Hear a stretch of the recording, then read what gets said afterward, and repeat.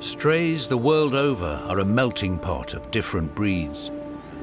A population of mongrel strays has left the city, making home on a forested peak known as Monkey Hill.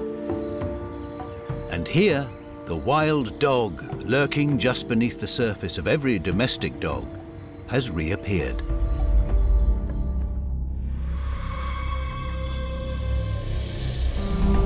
Sixty-two-year-old Leong, who has given over her life to looking after them.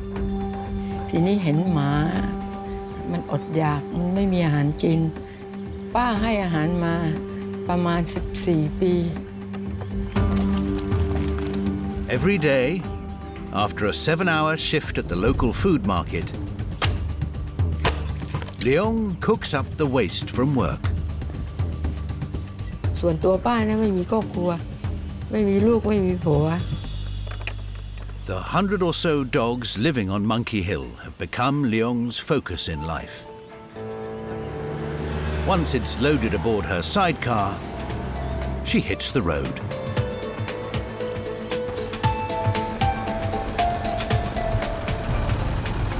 Leong's first stop is at the foot of Monkey Hill, where a mixed pack of strays live.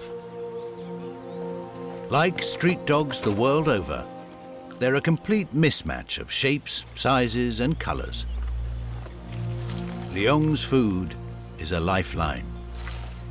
ป้านะในเวลาหนึ่งปีนี่นะป้าไม่มีวันหยุดเลย ไม่ว่าจะกุดจีน ปีใหม่สงการไม่มีหยุดเลย ปีหนึ่ง365 วันครบเป๊ะเราทำอย่างนี้เขาว่าคนบ้าอยู่แล้วอะ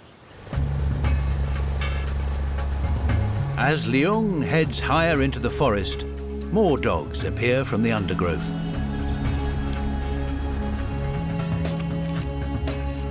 Unlike the dogs below, they're all a similar size and largely the same color.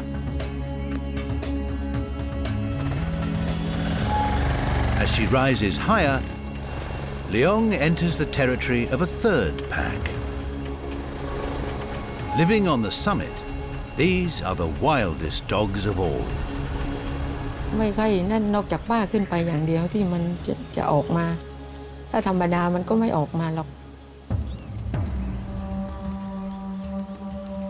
This group is completely different from the mixed packs below.